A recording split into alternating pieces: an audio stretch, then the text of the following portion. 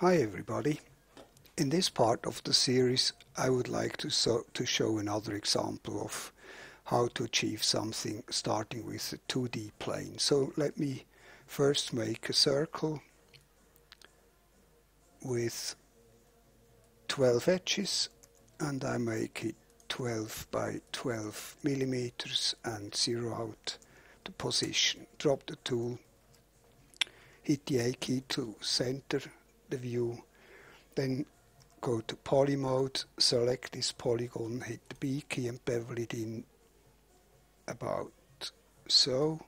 Shift click to reactivate the bevel tool, bevel it in and hit delete.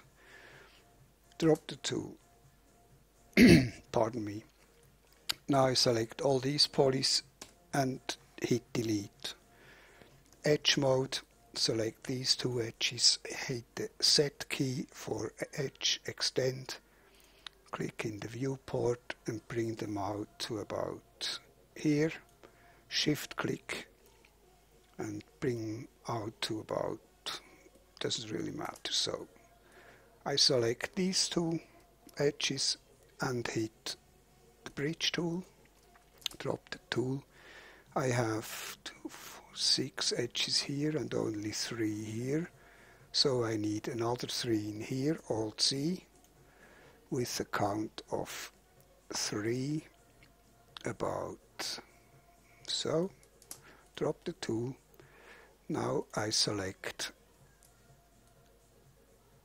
these edges and deselect the outer two bridge the rest together.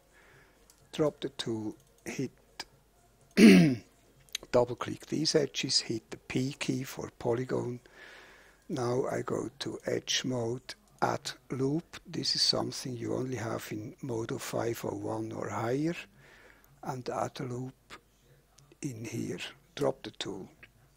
Now I can get rid of some edges here. I will create an n-gon, but that's no problem at all. And I don't need this one anymore. Now I select all these edges here. Alt 1 to convert them to verts. Hit the R key and even them out a bit, like so. Drop the tool. Go to perspective. Select all these polygons. Hit the X key for polygon X extrude and bring it out about to here. Drop the tool, center everything in the middle, and now let's add some edges here, Alt C, with a count of two, about so, drop the tool, Alt C here, drop the tool. Now let's see what we got. Um, let's select all these polys. No, only these. Shift up arrow, hit delete. I have 22 edges, so I need a circle then with 22 edges. But first, let me select these two edges Alt 1 to convert them to verts. Hit the R key and even them out a bit as well. Okay, now go to right view, make a circle with 22 edges, about the size of about this size. 12.5 sounds not bad. And zero out everything here. Perspective. Bring it out, drop the tool, select this polygon, hit the X key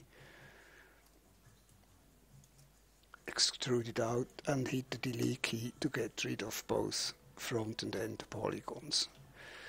Now go to edge mode, select all these edges and select all these edges and bridge them together. Now let's see how this looks.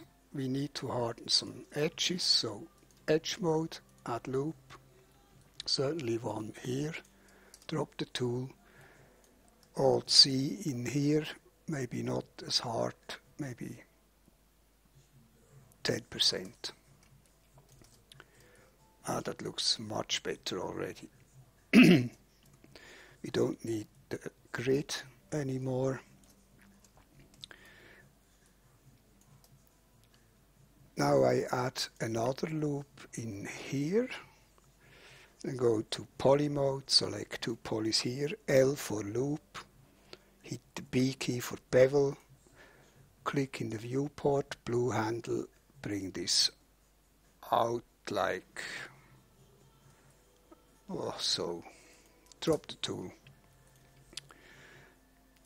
Now I add another loop in here, about so, go to edge mode, select this edge, W key for the move tool and move this one back about so. Select an edge here, Alt C with a count of two, but not, but only about so. Drop the tool, select two polys in this new ring, hit the L key, hit the B key for bevel, bevel it in with the blue handle, drop the tool. Now we need to harden some edges, so select two edges here, up arrow, up arrow, up arrow, Alt C again, count of two, but about 6%. That sounds good. So just some more edges need hardening. This one, Alt C, like so. And then add single loops here and shift click here drop the tool. And now we can get rid of these polys here. So L delete. And here we are. Now if you want to uh,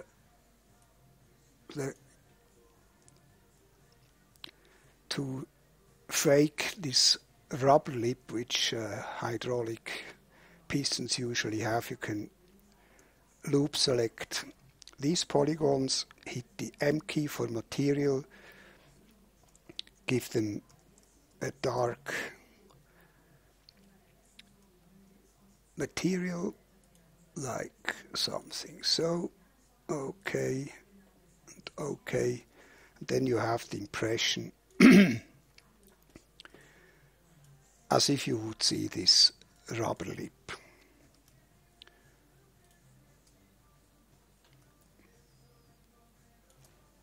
And here we are, it's finished. Thanks a lot for watching. Take care and have fun modeling with Modo. Bye bye.